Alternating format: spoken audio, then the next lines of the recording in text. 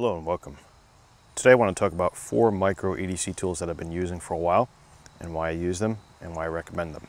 First up on the left here is the Leatherman Squirt P4.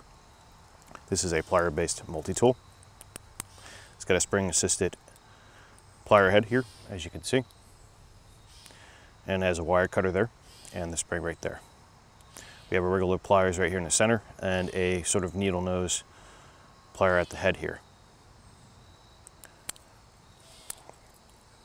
On the sides here, we have some tools.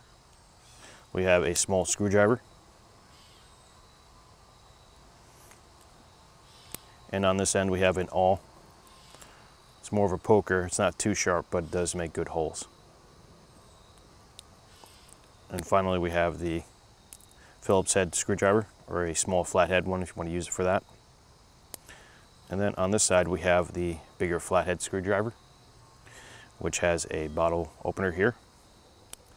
On the other side, we have a file. We have a fine grain file and a coarse grain with cross hatching here. then on this side, we have the main blade.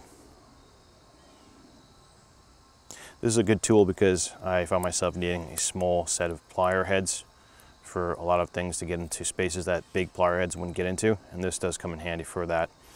And you can also use these on an angle to get splinters out and other things like that. And that is the Leatherman Squirt P4. Next we have the Leatherman Micra.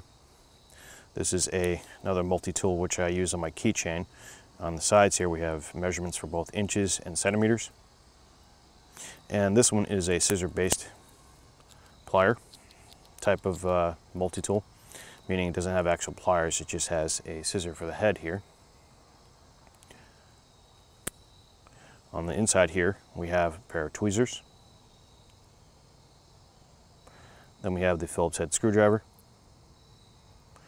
And then we have a combo tool, which is a small flathead screwdriver and a bottle opener here. On this side, we have the knife. A flathead screwdriver that's a little bit more stronger. And then we have the file here with a little hook for getting into places that a poker can get into as well.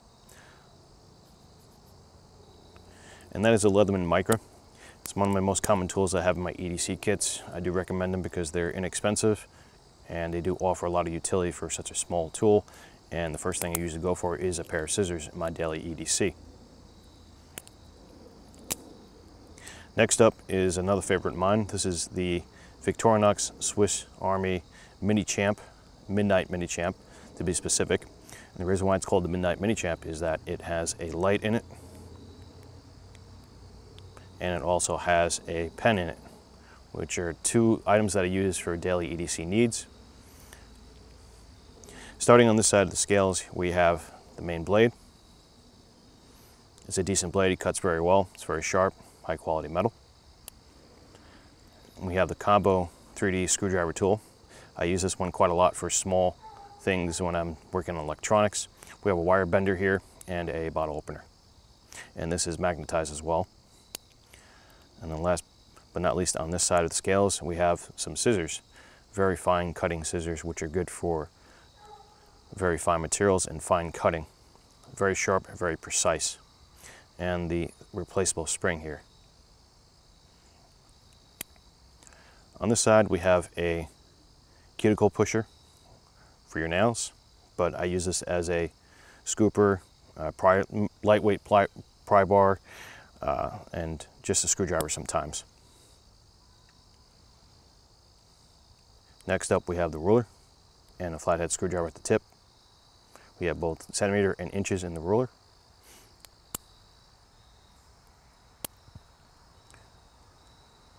Moving along, we have the box opener. This is good for orange peeling and cutting open boxes. I use this one quite a lot. And then next to it, we have the sheep's blade knife. It's a little bit thinner than the main blade, but it comes in handy as a backup blade or a sharper blade for precision cutting. Then finally we have the file and the poker here. And then I have my own custom lanyard with a right bar on it. And that is the Midnite Mini Champ.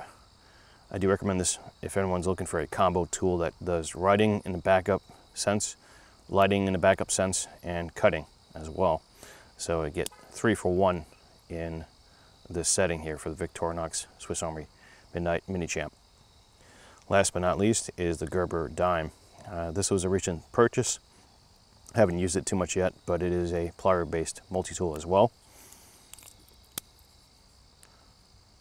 We have the plier heads here, regular pliers, needle nose type pliers, and we also have a cutting implementation, implementation down there for wires potentially, and it's spring loaded too as well. On the outside, this does feature a pair of tweezers.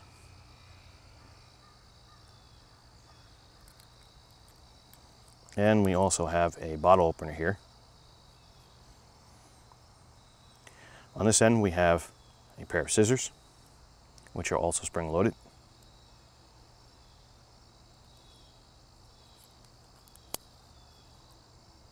And on this end, we have a box opener as well.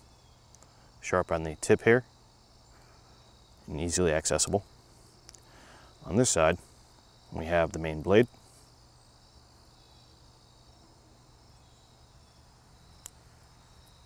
On this side, we have a Phillips head screwdriver combo, which is a fine, not a fine, but a coarse grain file and a crosshatch file on this side.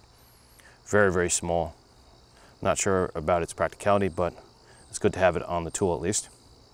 And then on this side, we have a flat head screwdriver, a little bit thicker one. And that is it for the uh, Gerber Dime. I like this because it is a relatively inexpensive plier head based multi-tool compared to say some of the Leathermans that are out there, particularly the uh, Squirt P4. And what I'll do is I'll take my plier based tools like these two, I'll combine it with a another bigger multi-tool and I have two sets of plier heads to work with albeit for lightweight duty work. Now I've been using these for quite some time now, and with the exception of the Gerber, and they all have a good function, especially the Midnite Mini Champ. This I've used in the dark, I've used the pen, I've used the cutting tool, especially the box opener, orange peeler. It's one of my most used tools on it, besides the scissors. I think these are all fantastic micro EDC tools.